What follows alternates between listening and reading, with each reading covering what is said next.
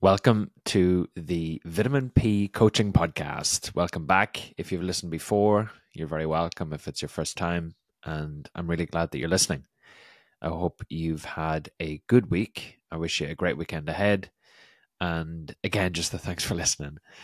Um, this is me documenting some of what I'm learning, some of what I'm um, trying to make sense of, some of what I'm trying to build into my coaching practice I want to give you like an inside the heart uh, view of some of the things that are happening as they're happening as well. So, and I'm again a little bit sniffly today, and I realize this is a recurring thing that's happened, and I've said a few times in this podcast, and I need to do something a little bit differently. I think it's just a tiredness where my nose runs more when I'm tired, and I wonder is it an invitation to slow down and to look after myself and nap a little bit more because it's been a busy week. I've done a couple of speaking gigs, I've done a couple of podcasts, I've done a couple of in person talks.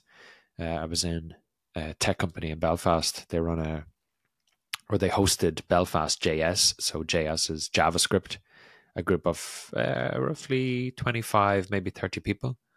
And I spoke about about physiology and how some simple things that you can do to look after your physiology so that you can actually perform and solve bigger problems, which again, technology can be a, a useful part of the answering those questions that you ask or the problems, the solutions to the problems that you you create or you want to pay attention to solving.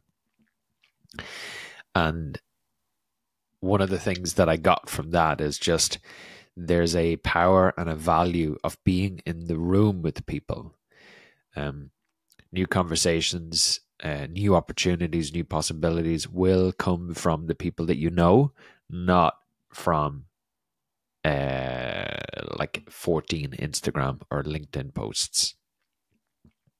And I had that kind of reaffirmed in multiple conversations this week. Somewhere I've been in the room, somewhere I've been uh, connected with somebody. Literally, I had coffee with somebody yesterday, and they were like, "Oh, I could get you into that room, no issue." Uh, and they'll get me a like you have to pay for membership to a certain kind of community of people, and they're like, "I will get you a discount." Another person that I met with just helped smooth the path to success. So again, it just comes back to who's in your network and how are they setting you up to become the type of person that you want to become and to do the work that you want to become and you may need to filter you may need to be more discerning in who you spend time with how you spend time with them and the communities of people that you want to work towards uh, like living into or becoming uh, becoming the version of you that needs to be uh, true for you to then feel absolutely congruent in that room. You may not feel absolutely congruent, but you can definitely grow into it and stretch into it. So that's roughly where I'm at this week. Some of these things that I'm going to talk through uh, are based on uh, just things that have come up in coaching conversations, but also some just from the Waking Up app that I mentioned. Sam Harris has. Uh, I really believe in some of the stuff that comes up in that, and it's it's interesting for me in my development as well. Uh, some is also based on uh, the supervision course that I'm doing. So I'm literally just off it because I'm recording this today. Uh, sometimes I pre-record these just because of my calendar, but today I actually have an opportunity to record it after the supervision course this morning. It's on every Friday morning. So, first invitation to you comes from that Sam Harris app, and it's a uh, look the wrong way. And there was a series in it, and I can't remember what it was called, but he talked about how can you look a little longer at the things that you're not meant to look at. So, for example, go to a park and study the trees, looking a little bit more slowly, taking it in and noticing how, when you keep looking, you notice other details that you might have missed before. And that ability to sustain attention on a single point creates creativity. And when you look repeatedly, so for example, this person went to an art museum and only went let, let's give it a frequency, went weekly and only looked at the same two paintings. And because they were revisiting one thing, they saw it differently, which changed their impression of that picture, but also their relationship with it. So if you think about it, you are what is it? Uh, the old fable: you are not the same person doesn't step in the same river twice because it's not the same river and you're not the same person. So when you spend time looking at art and you go and you've had a different week in between each of those uh, observations of art. So let's say it's every Friday. Let's say this podcast, you're not the same version of you that listened to last week's podcast. So you, your impression of this podcast, your relationship with, let's say it's me through the medium of audio, uh, is different and different than it was last week. Different because you're different and I'm different. So we revisit the same thing and we see it differently. And what again the invitation is creativity starts with attention and what do other people overlook this is an original point of view and if you see beyond what others want you to see you might be astonished and then you can tell people about it so you just deepen the relationship you have with the space around you and i had this kind of realization a couple of weeks ago when i was out cycling on my mountain bike and i have a garmin on the on the handlebar and i was roughly doing 30k an hour along one of the trails. And I just realized two squirrels caught my eye on the left of the path. And I realized because I was focused on my speed, I was missing out on the detail. And if I was doing 30k an hour, just imagine I slowed down to 22 or 23 kilometers an hour. The detail I was able to take in, the texture and the kind of definition of what I was able to pay attention to was beautiful in comparison to hurtling through the same trail. And the invitation again is how might you slow down, look at the same things with a new kind of self so that they become different with your observation because you will be different and it will be different in response to that. That's like the first invitation. So um, um, maybe let me make it tactical. Test that out. Go visit the same park, the same walk, the same museum, the same coffee shop, the same whatever it is, and commit to doing it once a week for a month. Just see what you notice differently every time you do. You can also do this with kids or with your dog or with, I'm going to try it with Katie. Just observe a little bit longer. Just notice details that you hadn't noticed before they're changing, you're changing, to see what you notice. I met, I was coaching somebody yesterday in a coffee shop in Belfast. And before this person arrived, I ordered a coffee. And the guy serving me, gent, like gentleman, I've seen him a few times. I always say hello. I said to him, How are you doing? And he said, I'm stressed. And then he changed his mind. He's like, no, no, I'm fine. And I said, it's okay if you're stressed. You can tell me that. And one of the things that I'm becoming more comfortable with, and I'm hoping to give people, again, who spend time with me, the invitation is you don't have to change how you feel with me, but you also don't have to change how you feel with yourself. Or, I mean, we judge feelings too quick. We judge ourselves for feeling feelings that we feel we shouldn't have too quick, too often. And so when you're feeling things like anger or lost or frustration or stress or overwhelm or pressure or any of those kind of things that you're told you're bad, sad, depressed, down, I said lost. Um, it's okay to feel them. Typically, why they hang around, why they feel heavier, is because we've resisted them and we've pushed them away because we don't want to feel them. I had a really heavy Tuesday because I just was met with resistance. I just met resistance that I was feeling. And it's just because I'm changing. so it's just a part of the process. And I think, yeah, we judge it too quick, too early. We try to move through or beyond it. We distract ourselves with the phone, or we eat something, or I had a bar of chocolate that day. Uh, one of the sharing ones. They're not for sharing. And yeah, how might you give yourself permission to feel what you feel? And rather than judging it as bad, if it's an emotion that you're conditioned to think is bad, you just get curious about it. Like, why am I feeling resistance right now? I got to the realization it was because I'm growing. Um, I'm transforming, I'm changing. So, what can I let go of? How can, might I use this opportunity to let go of and leave behind some stuff? So, it was a helpful emotion to recognize and to allow rather than resist. And I wonder how you might do the same for yourself. Another conversation I had with somebody, and I wrote this down before the conversation, not knowing it was going to come up in the conversation. It's ha- that's happened a few times this week. Um, is that your ability to handle strain or pressure is directly related to your recovery. So, your capacity to handle stress is related to how much kind of parasympathetic activity you can demonstrate. Or, sorry, not demonstrate, that sounds performative. How much parasympathetic activity you kind of do uh, for yourself.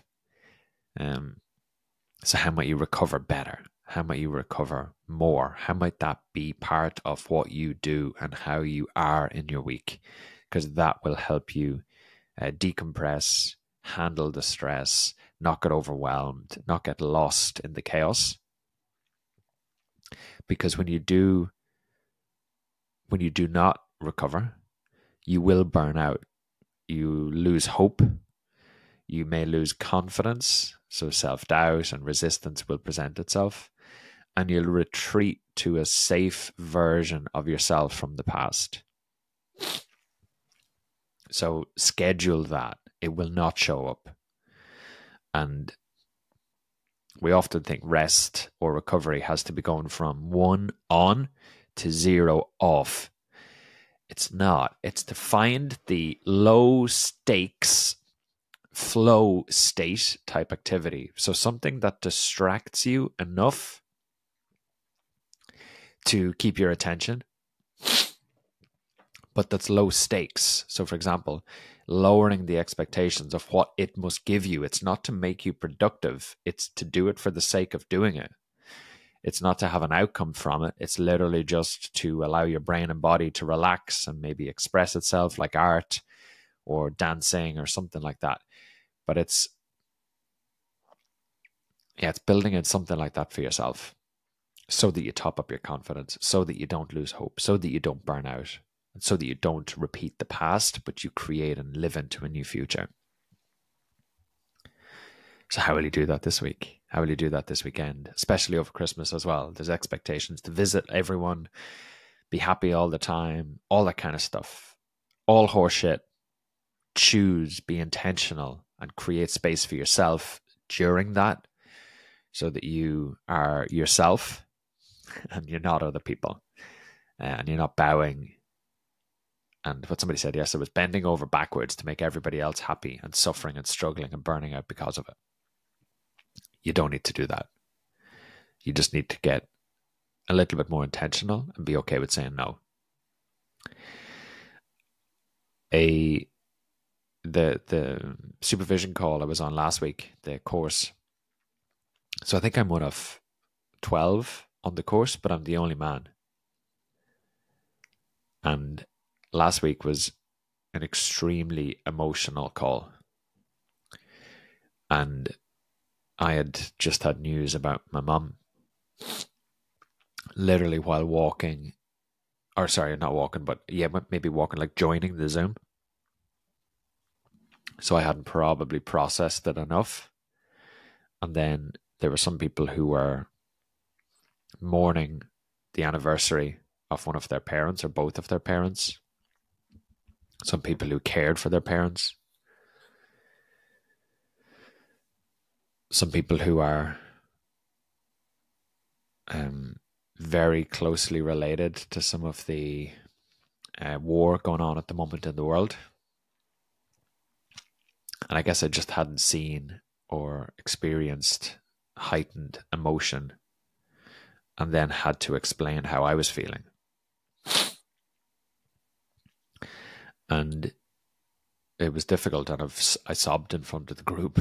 I got really upset. Not really upset, but I definitely was emotional. And I think again, it's back to like feel what you feel. That was what I felt. But the invitation that I took from the call was, I mean, the natural order of things is that your parents will, will die before you do.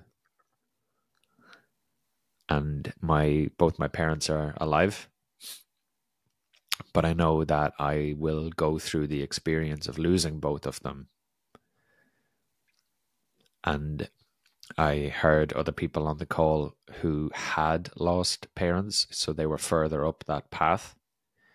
And I think it's just an invitation or a reminder to consider how you want to lose them because you will. And I don't think we think about it until it happens or it's happened. But what if you could think about it ahead of time and be intentional again about this rather than uh, suffer in reactivity?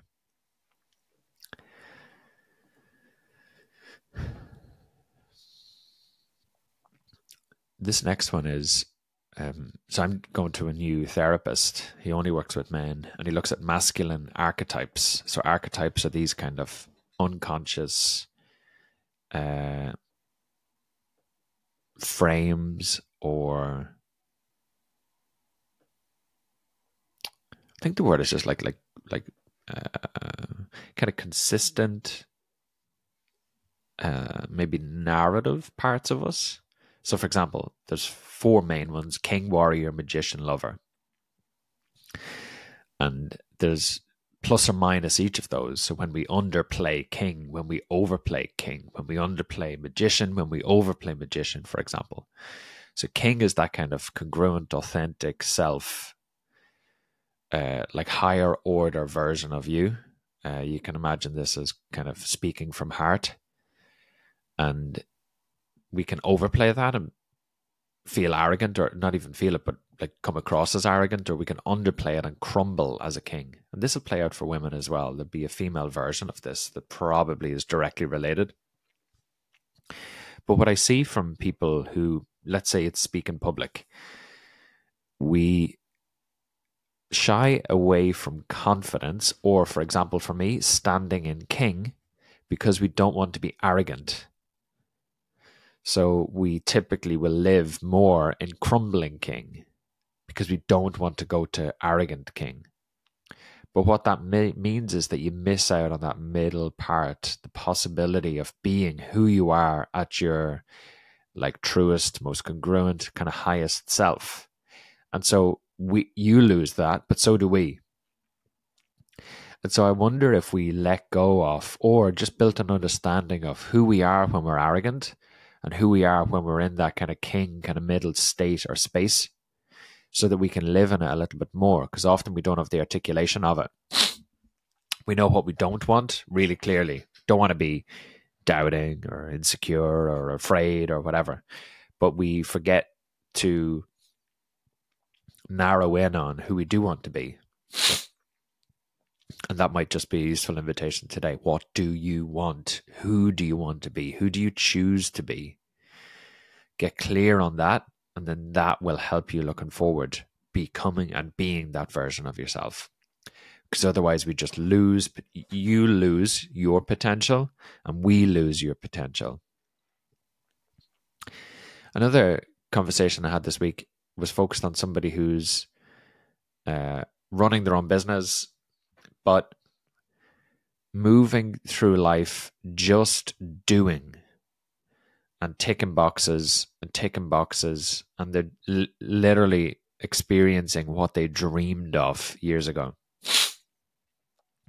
And so the invitation is to, to this person was how might you slow down a little bit again like the bike the mountain bike and seeing the squirrels how might you slow down just a little bit so that you can actually experience the moment in front of you. And the way I make sense of this is that your potential is not in what you do, but how you show up in the moment in front of you and how much of that moment you can take in. So, again, when you're hurtling down the trail on a mountain bike at speed, you cannot take in as much detail. You just can't. It's literally impossible. But when you slow down to the speed of life, really good book, uh, slowing down to the speed of life, you soak in more, you experience more, and more of your potential in the moment, I think, comes out. So, how might you let go of the need for speed? And how might you live and experience the moment in front of you a little bit more? This probably counteracts it, but it actually, I think it's additive to what I've just said rather than taken away from it. But another one of my coaching clients this week shared their uh, 10x goals for next year, 2024. So they had written goals that they wanted to aim for, and they were reading a book. They actually read, the, I think it's 10x Mentor by Grant Cardone, and I had recommended uh, 10x is easier than 2x by Dan Sullivan and Benjamin Hardy. And the the the concept is the same if you aim for 10x, your brain has got to come up with different solutions. And there's a quote by Les Brown, and he says, uh, most of the time, sorry, the, the problem is not that we aim too low, sorry, too high and miss, it's that we aim too low and hit. And how might you 10x what you're aiming for? And the reason I ask that is because when you ask, you might just get. And I think it's normal and natural to aim small, which is safe and certain. But there's so much space when you aim 10x to let go of and transform towards becoming the version of self that achieves that 10x vision. And even if you miss, it's definitely going to be more than 2x where you are. So, how might you get braver and bolder and more courageous? And the reason I'm writing this and kind of saying this out loud is because I'm taking this as an invitation to myself. Some of the people that I'm working with, some of the people that I hope to work with are just incredible. And I want to be better for them. So I need to think big and I need to, I, like, I want to impact more people. There's more people out there that are lost and stuck and wanting more and better than where they are. And I absolutely believe in my bones that I can do something about it. So I need to think bigger. And that invites other people to think bigger within that as well. So, what might you ask for? Because you just might get it. 10x is easier than 2x. Another coaching client, and I think it's just such a useful frame shared that they were at a networking thing recently and had seen somebody at the networking thing previously uh, online and had made a judgment and met the person and realized they're human that they had the same issues the same challenges the same good and bad in their life as this person that i've been working with. And so it's easy to see people as perfect online as a certain caricature of the version of them that they are and we often think we have to portray that caricature. And then when we realize actually our life is the yin yang symbol, it contains good and bad, it contains bright and dark, it contains the things we want and some of the things we don't. You're more easily accepting of yourself, but you're also more easily accepting of other people who are also contain both. So, how might you accept that for yourself? And how might you give other people that same level of just kind of human acceptance that we're messy and that that's okay. Another coaching conversation this week, we talked about alchemy and how alchemy has taken lead and turning it into gold. And sometimes we've all had lead heavy, dark experiences. And I think we forget our capability to be alchemists and to transform those and transform ourselves because of what we've been through. You, like you are the alchemist and you are the uh, alchemical gold. Because some of that will come from uh, shifting your thinking from or to and. So, for example, you can do good and have a positive impact, and you can make money. And so, how might you develop yourself? How might you evolve the stories you tell about your past so that you can positively impact more people? Because that's a good thing and it's possible. So maybe you're already the alchemist, and maybe you've an opportunity to um, do do do alchemy. It, this kind of links back to the 10x piece around asking for what you want, but it's always linking to who you know. And so what I wrote here is so put yourself in the room, ask, ask for the connection, ask for introductions, and if you don't ask, you don't get into those conversations and they're happening anyway. You're just not even in the room. And it's easier than I thought to get into the room with some of these people. I've a audience that I want to speak with next year. I have some big talks that I want to do. I'm going to ask because that's what I want.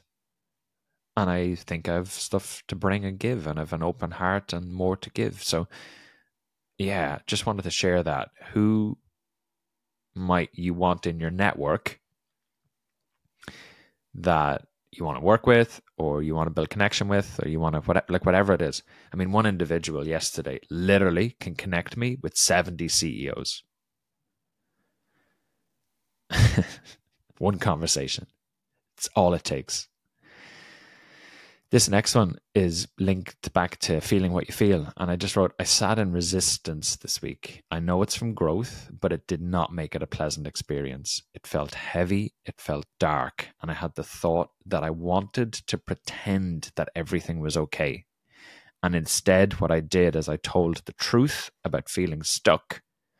And that actually helped cut through the resistance and created an opening for a new possibility.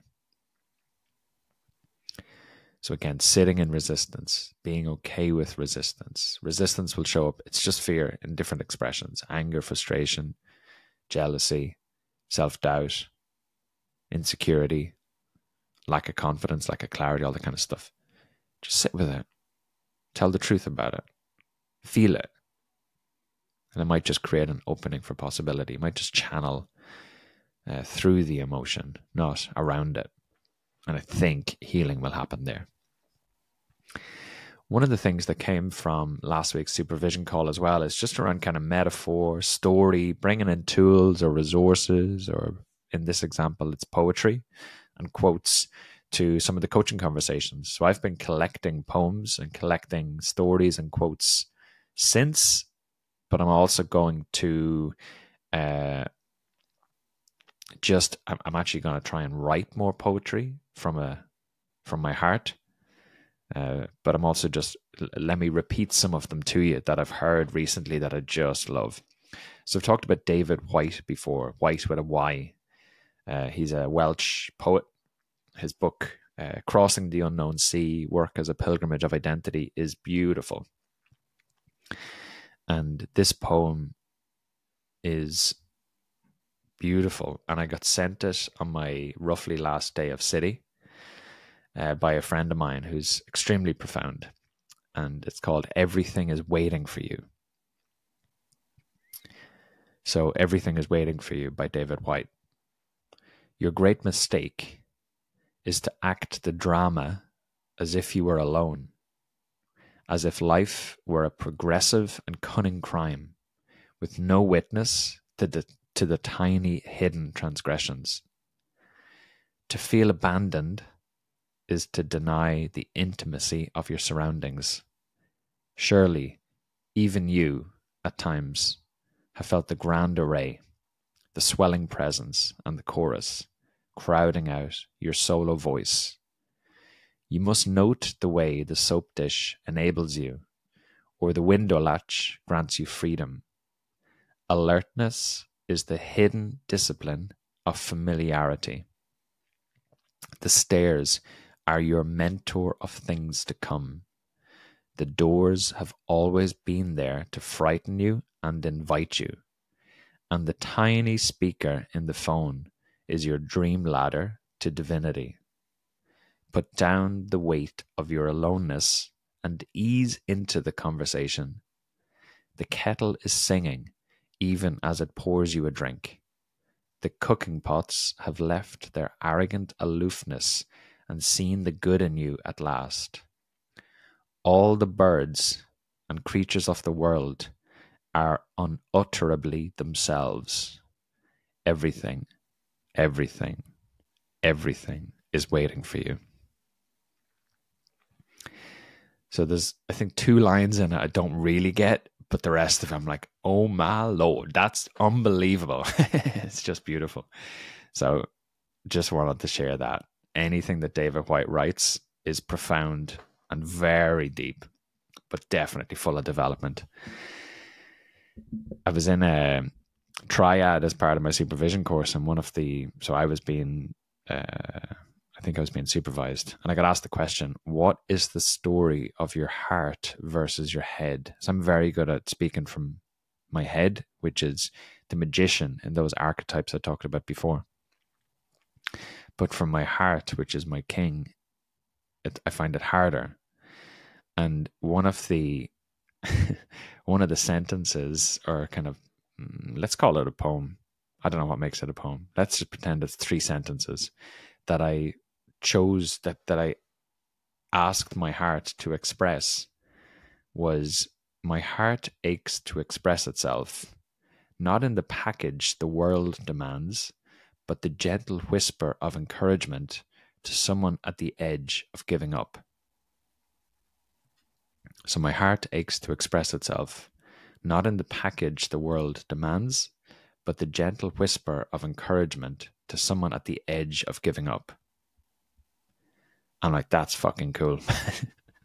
Heart, please speak more often. Um, so that's what I've been tuning into. And this person that t- asked me that question told me just put my hand on my heart every day and ask my heart different questions like, what do you want to say to me? What is your story? All that kind of stuff. And it just sounds woo woo, but it's so far as being profound for me. And I'm going to keep doing it as a daily practice. Um, I actually try and do it sometimes when I'm trying to fall asleep. It's just a lovely little thing to do. Um, one of them, uh, one of the people in that triad and in the conversation around um, uh, bringing things to coaching conversations like stories or metaphors or quotes or poems or whatever, they recommended somebody called Jaiya John. So it's J A I Y A John, J O H N. And I just have a couple of this person's quotes from, it seems like a book or maybe a collection called Daughter, Drink This Water.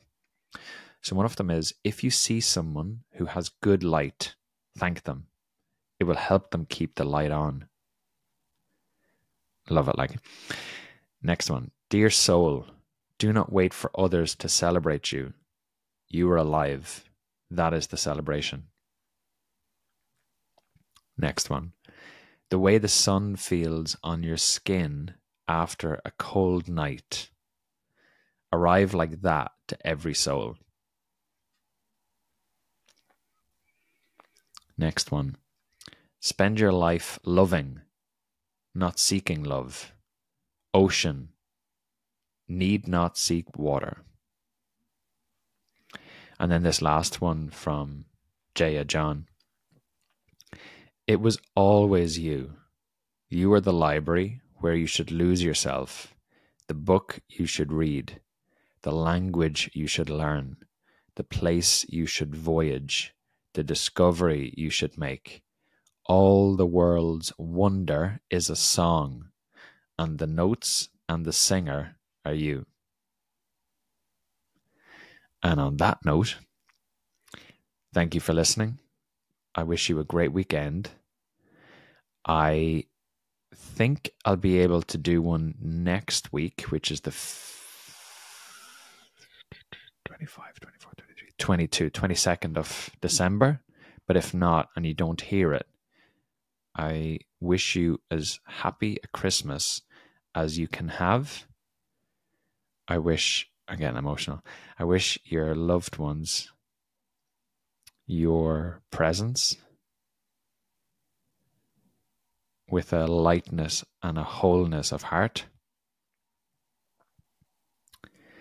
And I hope you give yourself a little bit more credit for how far you've come and how much more you have to give. Uh, much love. Speak soon. And uh, see you in the new year as well.